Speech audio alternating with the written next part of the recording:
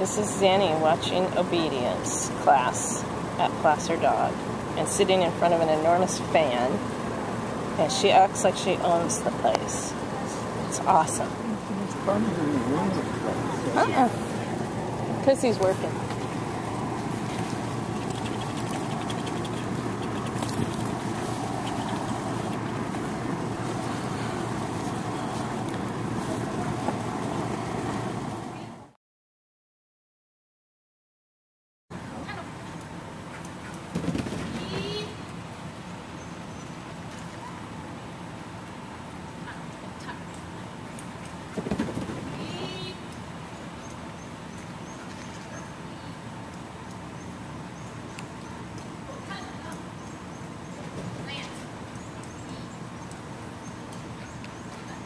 Like you're exhausted. I'm exhausted.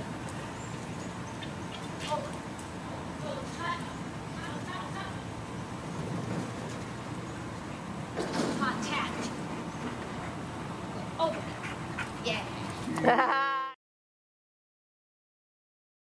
the older ones. Yeah. together. So Zenny's exactly a week o- older. July 2nd and She's uh, July 12th. 12th. So 10 days older. 10 days, a little more than a week. Denny's the tw- 12? No, Zenny's the 2nd. She's the Oh, 12th. okay. Fiona's the 12th.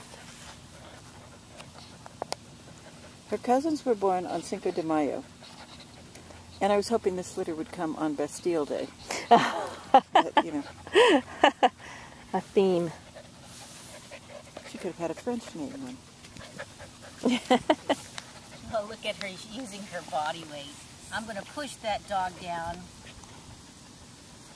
She's a herding dog. Yeah.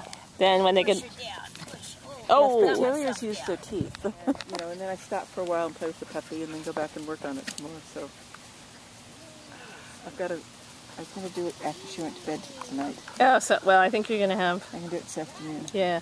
That and I, I need a nap. Ooh, Seamus and I have a trial tomorrow. on that.